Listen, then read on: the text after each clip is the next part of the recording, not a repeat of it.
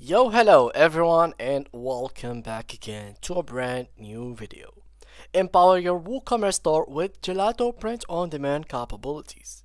This tutorial provides a clear roadmap to integrate Gelato seamlessly, allowing you to expand your product range with personalized print on demand items on WooCommerce. So guys, let's get started. So before we start with this video, make sure to watch it from now till the end so you get the full information.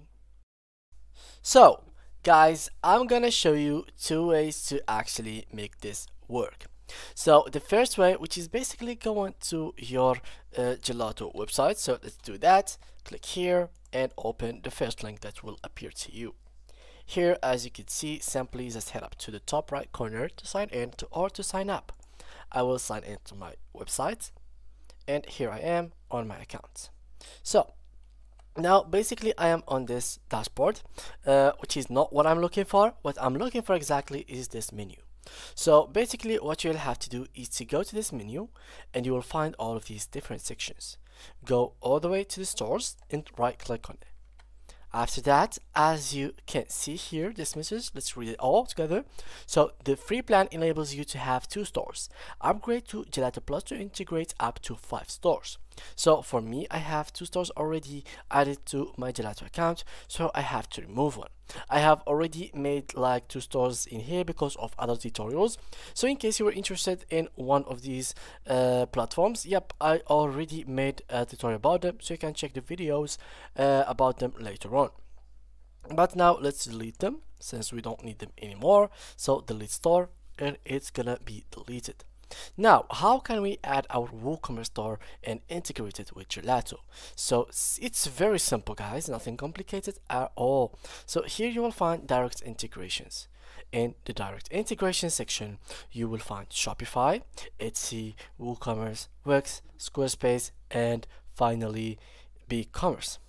There is other platforms that you might be interested in, like Adobe Commerce, Amazon, Base, BigCartel, eBay, Ecwid, Gumroad, Instagram, Magento, uh, Nuvem Shop, uh, PrestaShop, Square, uh, Story uh, TikTok Shop, Walmart, uh, Weebly, Webflow, YouTube, and finally all integrations.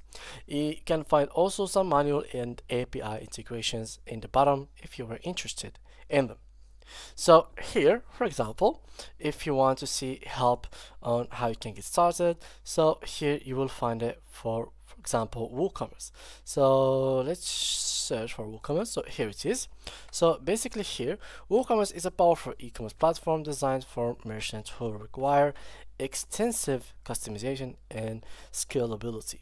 The highlight, you can get extensive customization options you will get integration with WordPress and robust features for large retails. The type is platform, the setup is medium, so it is pretty much not hard, and the cost is pretty cheap as you can see here, and there is no subscription to do. So here I'm going to go to WooCommerce and this is basically the steps that we have to follow in order to actually achieve the perfect website. So here, as you can see, there is the steps that we are going to go through one by one. So the first thing is to uh, have WooCommerce version uh, at least 2.4.8 or higher. So let's check that out. If we do have it, I'm going to open it in localhost, access WordPress, and wait for my website to be opened go to the dashboard and here as you can see we just have to go to the plugins click on add new and simply search for WooCommerce right here and click on enter so for my specific website I can't really download it since I am using a local host for this video but it's gonna be uh, very easy for you guys. It's not gonna be as complicated as you think of. Uh, in general uh, the problem with my website is I don't have the latest version of PHP but here if we clicked on WooCommerce the version is basically 8.4 so here they are only asking for 2.4.8 or higher so we already have that So here also there is a requirement. WooCommerce Store has an HTTPS connection and doesn't have redirection. This can be checked in here. So you have to check that as well.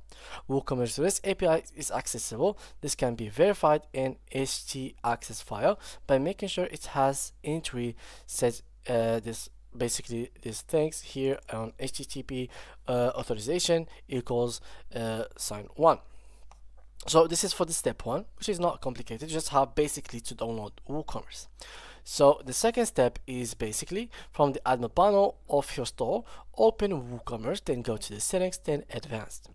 And then the legacy as you can see here uh, API, enable the legacy REST API. Basically, you're gonna create a legacy API, but this API will not be enabled. So you have to go ahead and check this button.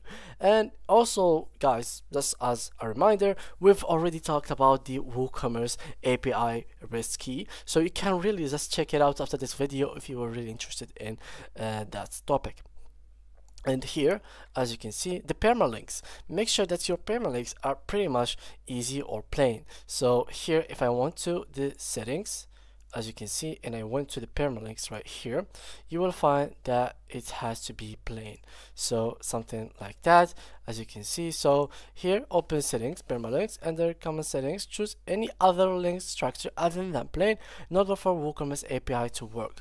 So this plain will not help you to create or to manage your API keys in WooCommerce. So you have to change that to anything else. Literally anything else can do the job for you. Then click save changes after you do that and now we are on step number four step number four is basically is installing the gelato plugin so click on add new search for gelato and here we just have to wait and as you can see Gelato integration for WooCommerce, you just have to click on install and as you will be able to see we are going to simply wait and activate it right through here. So as you can see here it will be added in this section. So here it is. Gelato integration for WooCommerce is already installed and added. Now the fifth step is to connect your WooCommerce to Gelato. So simply you just have to click on connect to Gelato and then they will take you to the space where you're gonna simply just grant some access, some permission. So you're gonna give them the permission to create to create webhooks, view and manage coupons, view and manage customers, view and manage orders and sales reports and view and manage your products, which is the most important thing. So just approve that and right after it you're gonna be able to manage and integrate or you finally integrated your WooCommerce store with your Gelato platform. It is as easy as you can see. So yeah guys, nothing is very complicated about that. Very easy, very simple processes that you have to follow. So we have arrived like that to the ending of this video. So guys, thank you a lot for watching. If you do have any more questions, make sure to leave them down below in the comment section. Thank you guys for watching and see you guys in the next tutorial.